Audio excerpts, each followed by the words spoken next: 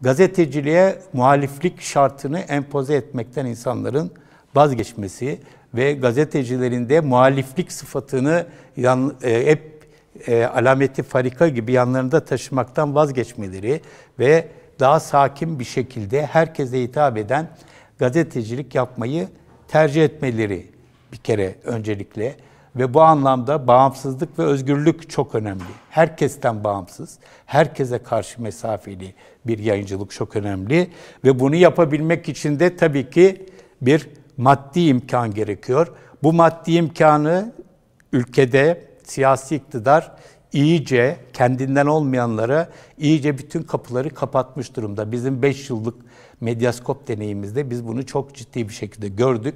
Ama bunu aşmanın yollarını bulmak mümkün.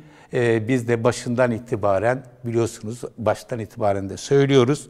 Yurt dışından bazı kurumlardan şeffaf bir şekilde yasalara uygun bir şekilde e, fonlar alarak e, bağımsızlığımızı, özgürlüğümüzü ve özgürlüğümüzü korumaya çalışıyoruz.